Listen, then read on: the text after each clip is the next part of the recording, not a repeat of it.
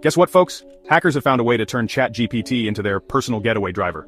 A newly discovered vulnerability, CVE-2024-27564, is letting cybercriminals hijack ChatGPT to send users to malicious websites. That's right, you could be chatting about the weather and suddenly find yourself staring at a phishing site promising you free Bitcoin. Spoiler, it's a scam. Over 10,000 attack attempts in just one week, coming from a single IP address. That's like one hacker working overtime while the rest take coffee breaks. And the best part, it was labeled medium severity. Because, you know, only some organizations getting hacked is apparently fine. Spoiler number two, it's not. Biggest targets, financial institutions.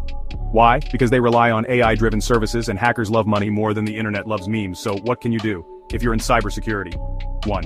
Check firewall and IPS settings. 2. Monitor logs for attack attempts. 3. Block those suspicious IPs. AI is the future, but so are cyber attacks. Stay alert, stay secure, and never click on that you've won a free iPhone link. Subscribe for more Threat Thursday updates.